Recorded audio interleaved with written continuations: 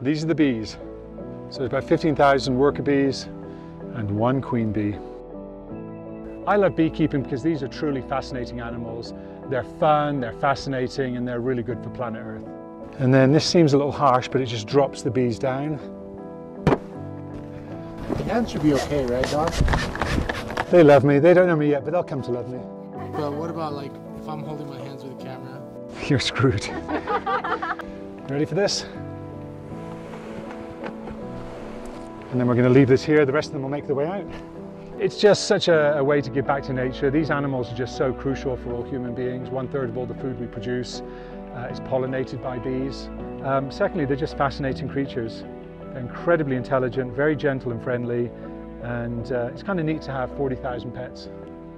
My name's Don MacDonald. I'm a beekeeper and I'm part of the MX family.